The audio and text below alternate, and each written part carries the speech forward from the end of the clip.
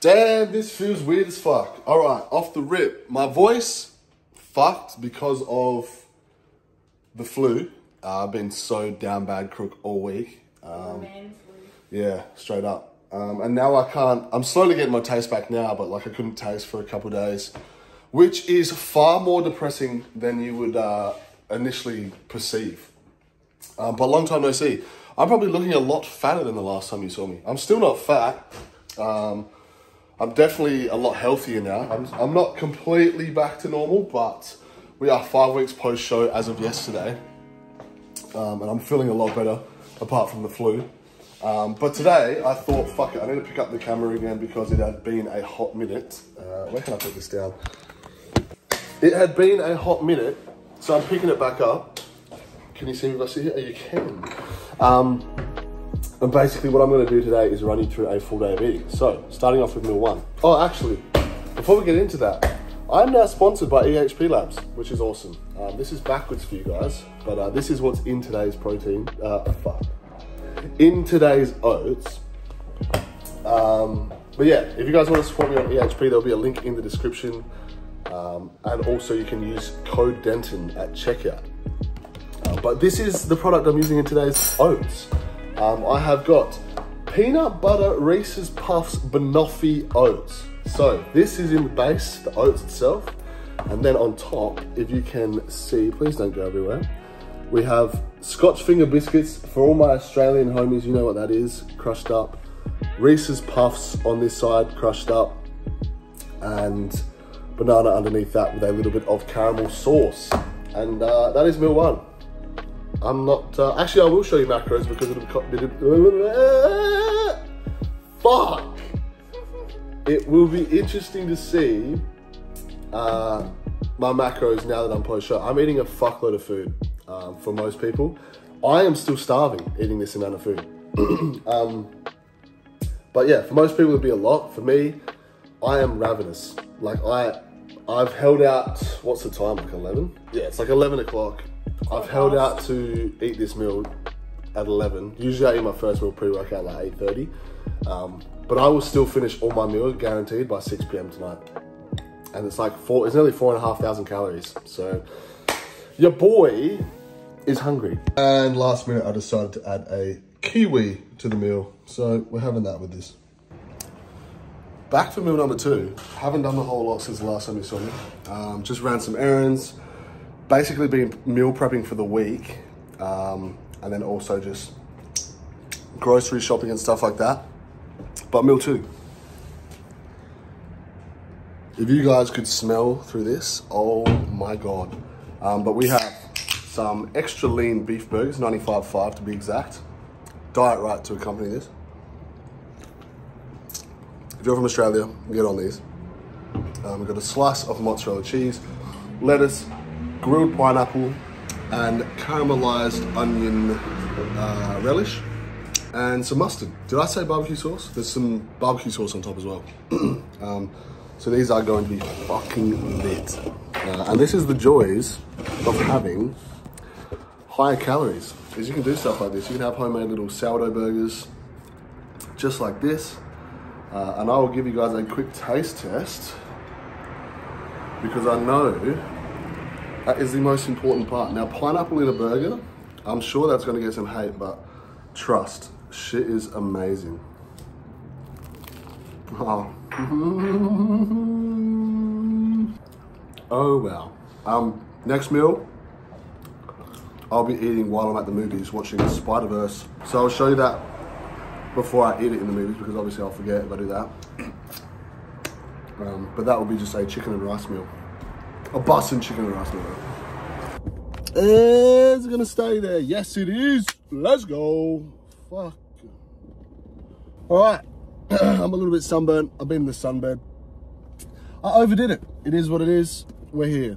Um, so next meal, obviously, I've just pulled up to the movies. Um, I'm gonna eat this probably like an hour or so. I ate. What's the time now? 3:49. I ate like two o'clock, just after two. So trying to space meals out nice and evenly, two and a half, three hours apart. But right here we have. I'll give you a quick look. It looks fucking. It looks pretty bussin'. It smells bussin'. I know it's bussin'. Um, we have chicken, lettuce, spinach, beetroot, avocado, dates, barbecue sauce, and almond butter. Almond pecan butter. Um, which if you haven't tried, try it. It's fucking late. But this will be the next meal. Uh, it's a pretty hefty one, nice and heavy. It is full of micronutrients, which is what we are trying to do. Um, last off season, because I hated food so much, I uh, I very much so neglected. Uh, I wouldn't say neglected my health, but my food intake was pretty atrocious, to be honest. Um, we have an off-season, uh, off-season, off-plan meals like three times a week, um, which I mean, to be fair, probably isn't that bad. But I wasn't eating like, I just wasn't eating. I wasn't eating good. I fucking last time I like competed, I was a I was a natty scum, and I'd been dieting for like over a year, so I was pretty well. I was pretty well accepting the fact that after the show, I was just going to eat whatever I wanted to feel normal again. Um, and I did exactly that, but it did fuck me over in the off season. Um, so I'm going to touch on post show and stuff like that probably a bit later on after the movie and stuff. Um, but for now, I'm going to go enjoy Spider-Man Across the Spider-Verse. Fucking keen for this one. Guys, I haven't been able to fucking concentrate on a movie and enjoy a movie in, I'd say nearly four months. Probably like 15 weeks out, I started to lose a bit of like, um, not so much focus, but like if I was sitting down watching the movies, I'd be like, oh, fuck, like I, I, need to be getting steps in, like, oh, when's my next meal? Like it just, I haven't been able to enjoy something for a while, so it feels nice. So I'm catching up with a couple boys, watching a movie. All right, I'm wasting time. I need to fucking get in there. And start it started already, so peace. Fuck's sake, I'm fucking 30 minutes early. 30 minutes early, so I'm currently, uh, I'm about to piss, and then fuck, I don't know, I'll probably just walk around the fucking mall, I suppose. But if you guys aren't aware, the hack, disabled toilet, always better lighting, comfortable.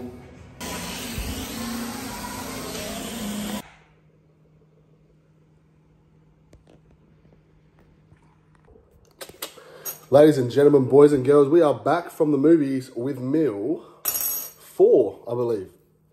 Um, now I'm eating this a little bit later than I would like to. It is currently about 7.30 and this is when I usually eat my last meal. Um, obviously I had a few things on today, so that didn't happen.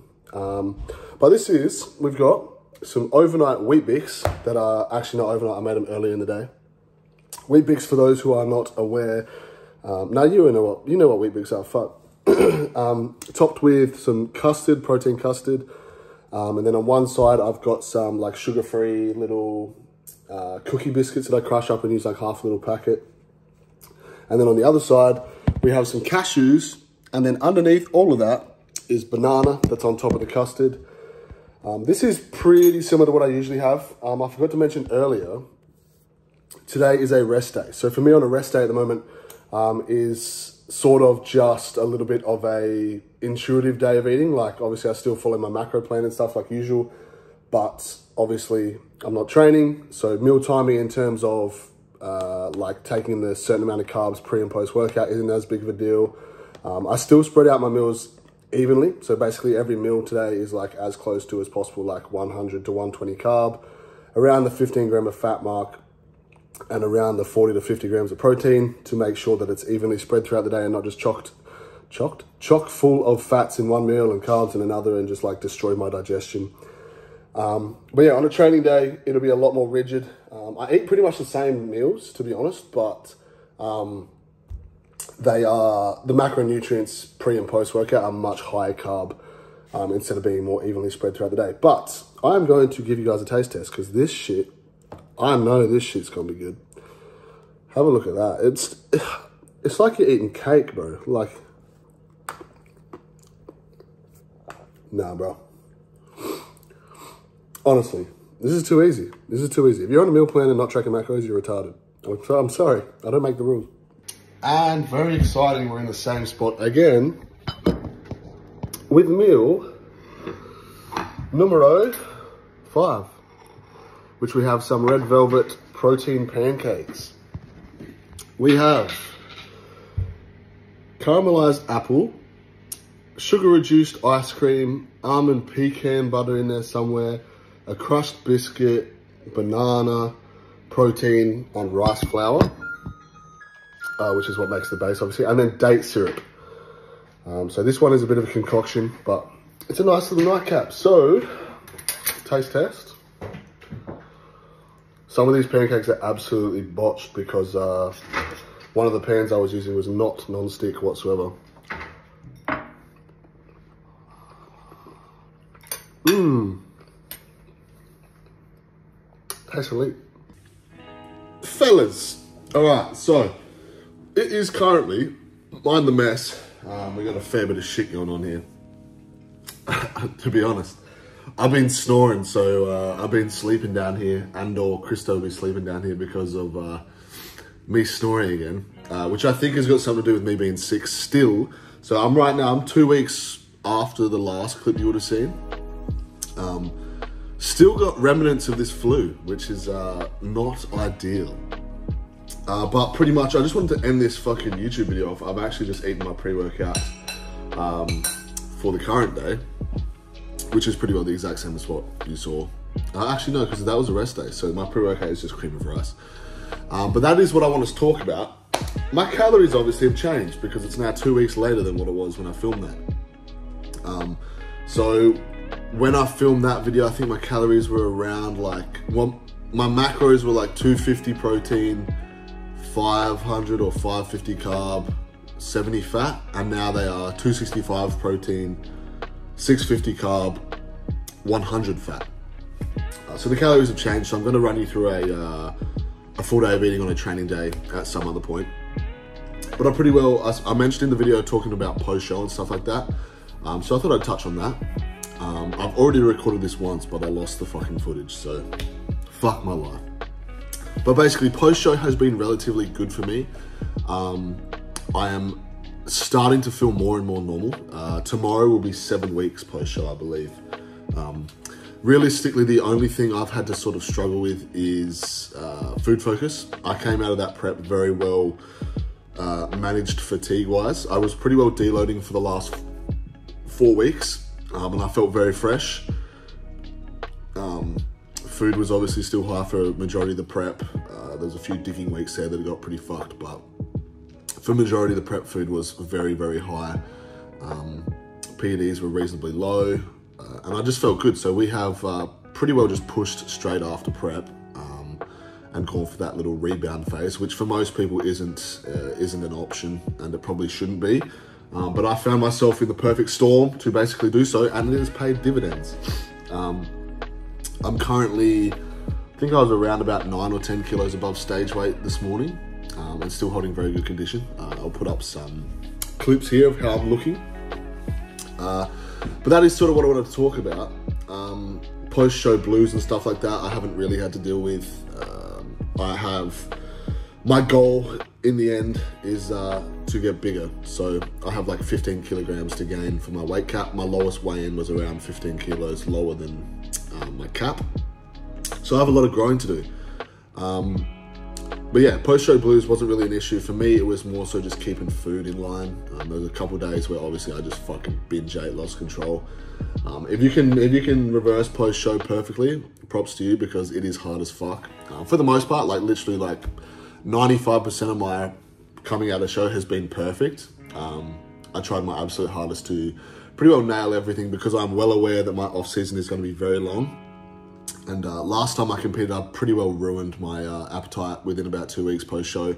And I do not want to be vomiting every day uh, this off season. So I'm trying my best to keep food uh, enjoyable, uh, which it is right now. I'm eating four and a half, 4.6k calories now.